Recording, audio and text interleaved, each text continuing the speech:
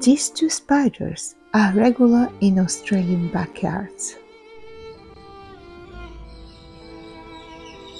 And the red back spider, the one you see, is one of the most dangerous venomous spiders in Australia. Please watch how the redback spider attacks the white-tailed spider. He is not in a hurry and absolutely there is no chance for the white-tailed spider to escape.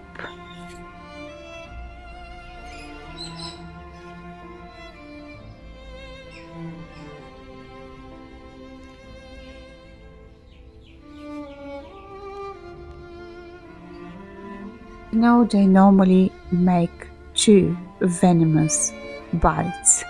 Just watch all the fight and try to observe it when is attacking with the venom.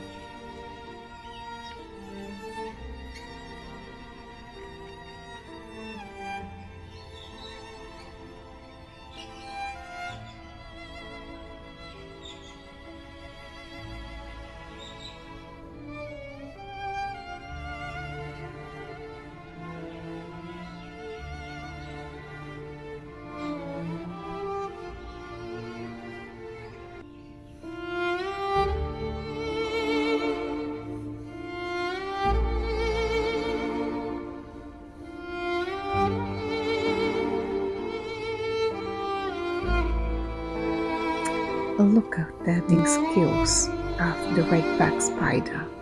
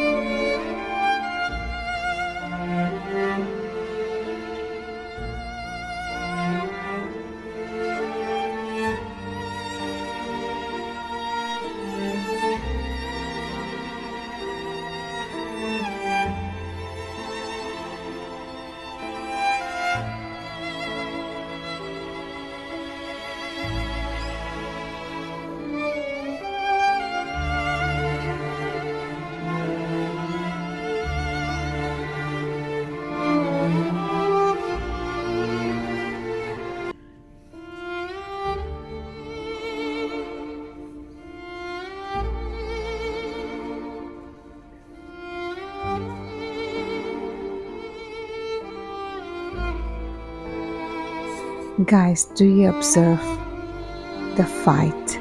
Have a look where the bites happens when the spider, the redback spider inserts the venom. Have a look. I think it's now. Have a look. It's now. Look at the reaction of the spider, of the the white-tailed spider. Look at the reaction. So he does attack a few times with the venom we have to observe the reaction of the white tail spider.